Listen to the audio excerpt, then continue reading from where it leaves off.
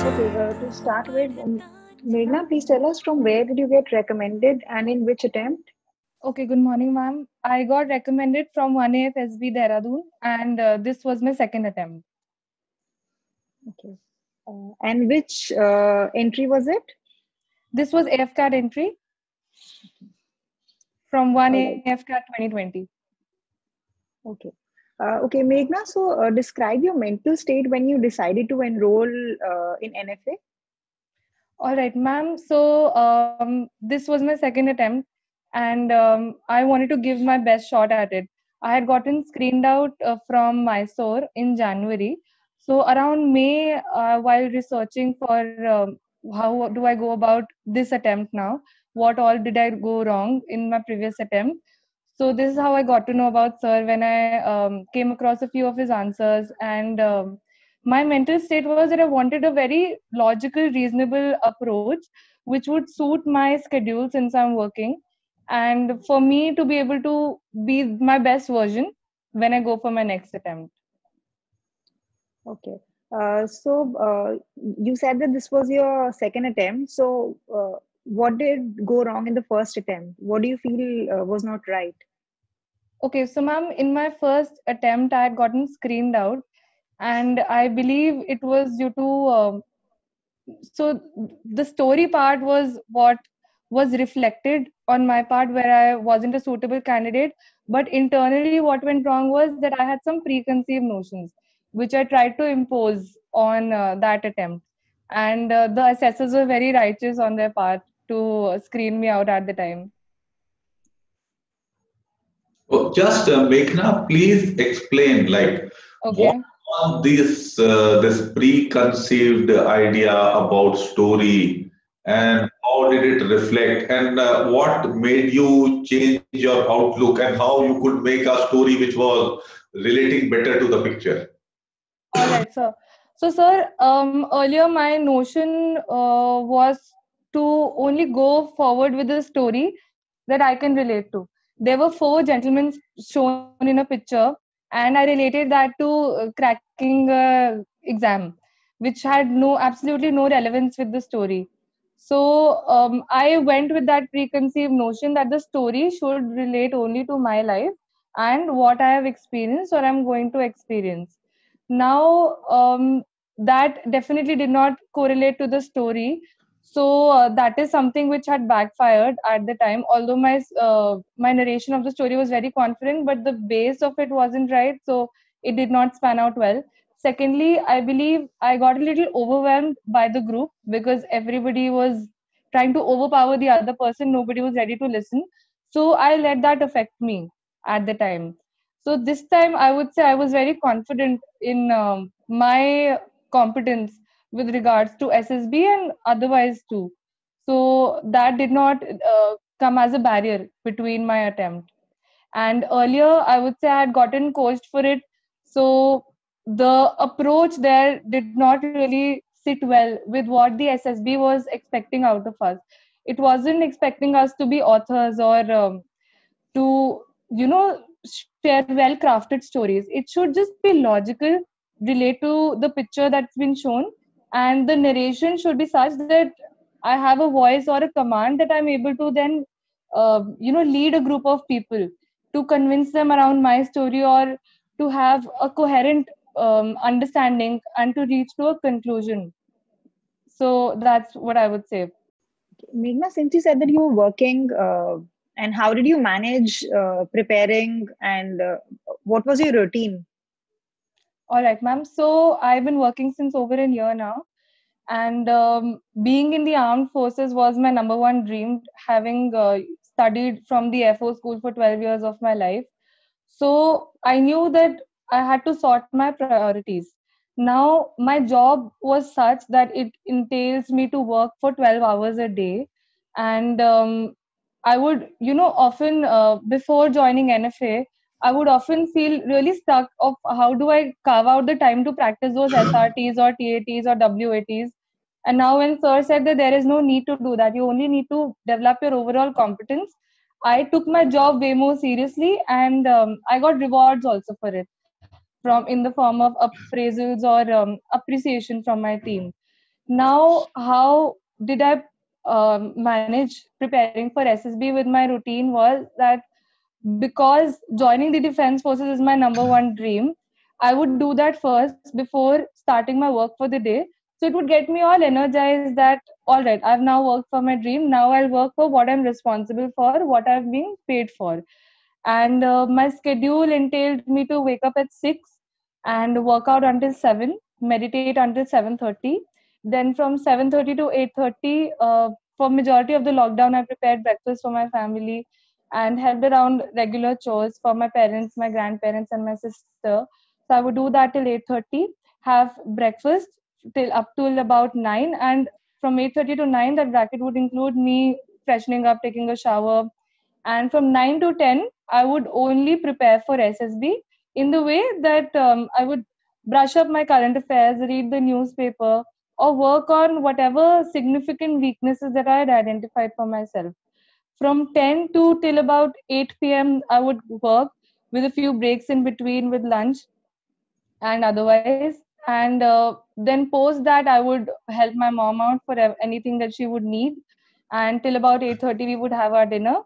And uh, by 9 i would be free. And then 9 to 10 my mother and my sister we all watch a certain show so we would enjoy that. And by 10 i would read a little because reading was one of my hobbies and uh, around 10.30 i would sleep and then carry on with the next day Okay, Meghna, uh, describe the essence of your SSB experience in uh, in a few sentences. I would say just five lines. Okay. So my SSB was a really fun experience, I would say. One of the best things that I've experienced in my life so far.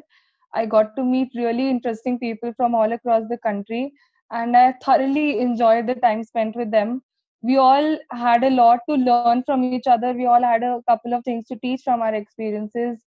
And um, I would say that there was a lot of solidarity in the kind of people I met. And it's, you know, one of the only few opportunities you get to meet like minded people who are as passionate for your dream, uh, which happens to be theirs too.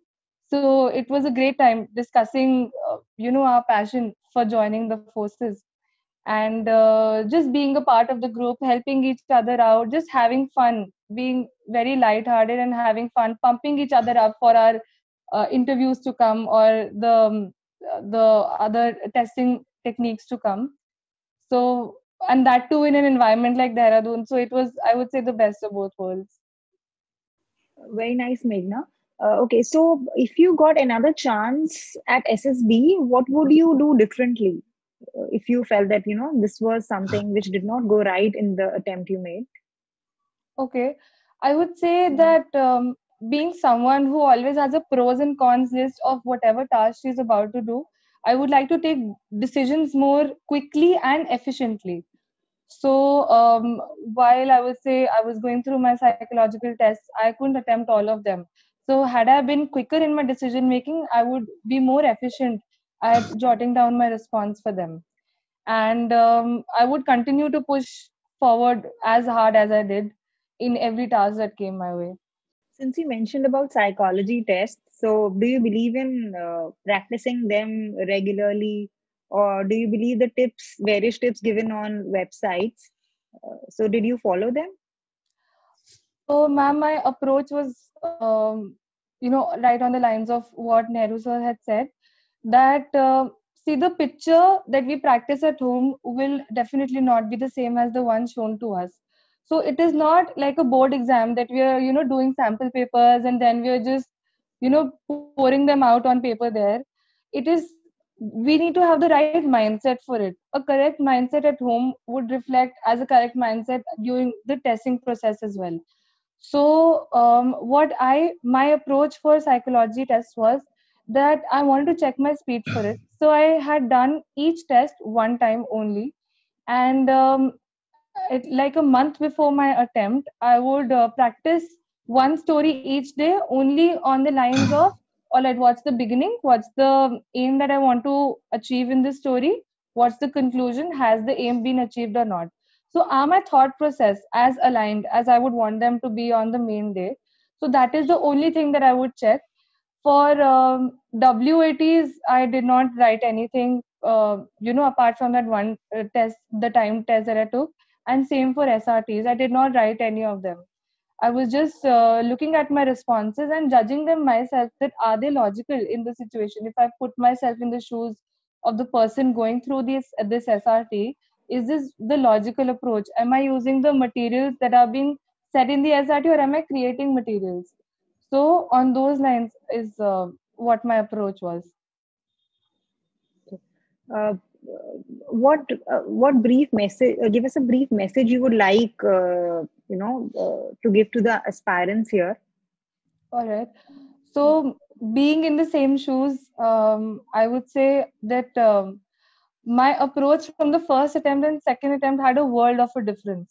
This time i had prepared myself enough that my confidence came from the fact that i was very competent as an employee at work and that i was ref- i would reflect as an uh, as a competent person to join the defense forces as well since there would be lives uh, you know um, entrusted in my hands. So i would say just start small at home. Whatever you're doing at home even if it's you know drying the clothes of your house do it perfectly because how you do one thing is how you do all the other things your work your work ethic would start from the smallest of things. And um, i would also say that uh, secondly face all your fears because this constant nagging thing that what if i don't make it? Then chart out a plan of what if you don't make it what is your second plan of action for that? Because all the two and a half lakh or three lakh aspirants who write the paper always have the aim of you know making it. Nobody does it just for passing time but what what sets you apart is you know what matters in the end because we all know the proportion of people who finally you know make it to the academy and get commissioned. So face all your fears. If your head is asking you that what if i don't make it? So you need to have like this plan b sorted in your head that all right if i don't make it i might consider this. But we'll cross that bridge when we come to it. Like we'll do the full research if it so happens that i need to pursue it. And uh, the third i would say is um, master your mindset right? Because you you know you need to be disciplined in your daily life to show your discipline there uh, which would entail not breaking any rules and following as said. Because uh, you know if you take things lightly on the road say if you're breaking traffic rules you would probably break them at gto too so all of these small things that we do daily would reflect there in the techniques that they use to assess us and because for most of the techniques they assess our subconscious mind we will not even know what we did. And uh, a couple of us would come back saying you know i, I gave my best but it did not happen and i'm, and I'm not quite sure why. So uh, master your mindset and um, be detached with the results. Just go out have fun. It's ssbs are located at such nice locations. Just enjoy the view enjoy the good company that you will get enjoy the opportunity to share your passion with like-minded people and um, do lend out a helping hand with whatever opportunity you might get. And because you would expect the same had you been in that person's shoes who would need your help. So that's what i would say. Okay. All right Meghna, if you had to choose from the given options whom would you owe your success uh, primarily to? Uh, a. Colonel Nehru, B. NFA groups, C. The overall idea of NFA?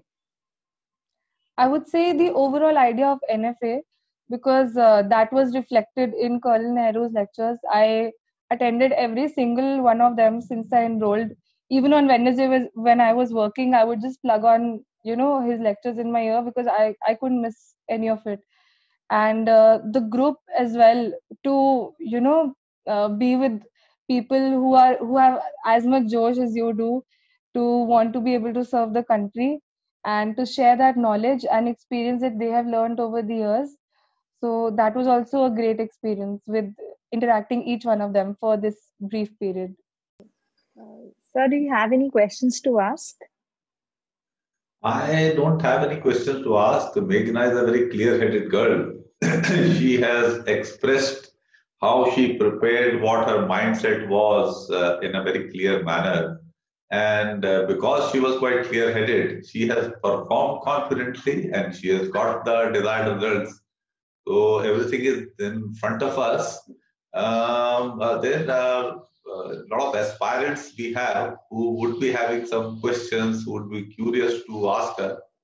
We will allow them to ask some questions. Also, we will request Meghna that she should continue remaining the part of the NFA group that she is, so that she keeps participating and uh, keeps sharing her uh, knowledge and experience with the group members. And that is how No Frills Academy has grown and it continues to grow. For sure, sir. It would be Yeah. my pleasure. Good, good, good. Thank you so much. Yeah, please, uh, boys and girls, you can ask your questions. I would like to ask regarding the SRT, sir. There are some situations like uh, they, uh, they are they ask that you are having a heated deba- debate with your friends, you are getting overpowered in a debate. So, to this situation, are we supposed to write the same uh, reaction, or are we supposed to twist the reaction in some manner? Meghna will tell you. All right. So I would say do what you do in your real life. Your friendship is too precious to, you know, let go over a heated debate. So just hear each other's opinions out take the conclusion of what the most rational approach is agree with them if they are right and um, your if your approach is right then stick to it. At the end agree to disagree is what i would say. If you know if this happens in real life. So put yourself in those shoes there and uh, reflect your thoughts in a very concise manner. Disagreement ka matlab jhagda nahi hota. We can differ in our views. That's fine. Mature people uh, do that. They don't get, get into fights because of that. Fine. Okay, sir. So, uh, Meghna is a mature girl. She realizes that, and that reflects in her outlook. I want to ask that uh, after you have enrolled in NFA, uh, what kind of changes and uh, after how many days have you experienced changes, those changes in your uh, daily life? Okay. So first of all, I would say that uh, enrolling in NFA was a big load off my head because um, I realized that I was wasting time before that uh, in uh, practicing for things that I thought would be useful but had no relevant impact on my selection. So um, that it helped me absolutely clear my head and uh, sort my priorities of you know just continue giving my best at what uh, my role entails at my house or at my workplace and what changes i uh, inferred was in the first week itself because after um, getting in, uh, getting to interact with all the other aspirants in my group i felt like i was at the right place because everybody had so much knowledge to share and um, we would just you know take up responsibility each day of organizing the calls too. So that also you know entrusted a factor of leadership in us of how we are about you know organizing things uh, that too at a very spontaneous moment because 10 minutes before we would be told that you know all right it's your day to organize. So we, we'd just be chill with it and we'd go ahead with it. And um, it it gave me the confidence of uh, you know continuing on that path of self growth and not just mindlessly practicing srts or tats because that would not add any value to me as a person. So that's what what i would say Hi, congratulations, Meghna. thank you Um, okay, so I have my FS in uh, Dehradun only. Uh, it's gonna start by tomorrow from 12. all the So, any last, thank you so much. Any last minute uh, advice you would uh, like to give me? yeah i would say that always um, be confident whatever you're saying whatever you're doing in the smallest of tasks always be Okay. confident and secondly always be grateful to whoever is hosting you there to all the mess boys always go and say thank you and uh, be Yeah. respectful towards every person of every hierarchy that you get to meet Yeah. and uh, thirdly just enjoy it you will have so much fun with everyone there because we're all young people and like full of energy so Yeah. enjoy your experience it's going to be a great stay and all the very best Okay. Thank you so much. That was all. Thank you. Yeah, uh, I have similar uh, story uh, with you. Like I also went for uh, AFSB Mysore uh, previous month, and I also got uh, screen out, and this is my first attempt. Okay. and I have I have done the same thing that my story is not related to the picture, Hmm. and I also have a in mind uh, that time issue that whether I will do it four minute or not. So, what are your uh, your recommendation to me? Okay. As far as the story goes, I believe four minutes are more than sufficient to write a story because we don't have to, you know, write a like a novel on it. We just need to write, you know, few 10 to 12 lines of what we feel about the story. Now, I would say 30 seconds are more than enough for us to perceive it. Just take it from the point of view of, you know, like even a class one child, if given a uh, picture, can make out what the story entails. He might not be able to decipher it in the way that we're expected that it's broken down into those uh, you know three parts if the aim is achieved or not. But anybody can do that. So i would say uh, my approach was to make the most out of those 30 seconds so i can make the most out of those 4 minutes later on. Now for the first 10 seconds they're more than enough for you to see what's there in the story look at all the four corners of it take out you know make out of uh, what the background of the story is. It rural or urban? How many characters are there? And all the various things that we're supposed to jot down including the gender etc and um, more, 10 to 15 seconds are more than enough for you to perceive all of that. And uh, because it's especially in ppdt it's a very you know brief thing and then for the next 15 seconds chart out a storyline of what is happening. If a man is running is he running for a marathon? Is um, you know is he running for for whatever reason? So why is this happening? What is the first thought that comes to your head? Is it you know enough to impress you? Um, do you think that's a good thought? And um, in the next 15 seconds do that. And then when the time to write the story starts i would say even if in the, those previous 15 seconds you're not able to jot down a storyline take the first 30 seconds of those 4 minutes to you know clearly analyze in your head of wh- what you want to write down. Because you will be able to jot it down quickly enough if you have it clear in your head. Because there shouldn't be any cuttings and all. Your clear thought process should reflect as clearly on paper. So um, then i would say 3 minutes are more than enough Uh, you know take 1 minute each for the introduction for the aim for the conclusion and take the last 30 seconds to review what you've written if that's okay or not if that there's any grammar grammatical error that you might want to correct and then you should be good to go. In short, the message which Meghna is giving to all of us is that if you are sorted out in your head, you are clear as to what needs to be done, then confusion is not there and time wastage is also not there. Things move on at a good pace and you don't find discomfort and you are able to do things in time and you are rather than feeling, uh, you know, pressurized, you are enjoying the process. right Is sir that correct, Meghna? 100% Good, good, good. Okay. One thing that I have to ask is that during my conference, I feel this that I am uh, been like see entire uh, SSB has gone very joyfully, but then the last day when the result is supposed to come, I still feel that okay, yeah, I am expecting the result. Maybe uh, this, that success uh, I am desiring, I should get or not. That tension comes, and due to that, the stress comes, and that is reflected in my conference. I have seen this, and I feel that uh, I had two chances where I have lost just because I could not answer properly in my conference. Okay, so uh, what do you suggest in the last day? What should I do so that I don't come under the stress of result? Okay, I think it's something that you should do every day, not just for the result. Firstly, like I said, face your fear, your constant nagging voice in your head who who says that, you know, what if you don't make it? There is no guarantee of however competent you make yourself. Maybe it's not competent enough for the armed forces, or they're desiring a different set of qualities and you possess a different set. So answer that of um, what might be your next course of action so that before that voice comes in your head, it answers itself and it settles down. Secondly, I would say mm, for most reason that I noticed that people get overwhelmed during conference was because there are around 15 to 16 officers in uniform. And um, I would say that is nothing to be scared of. Just embrace the uniform. You're going to don it one day. So why is it something that is scaring you? Just imagine yourself in that uniform and um, you know you might be sitting on the next side of the table one day.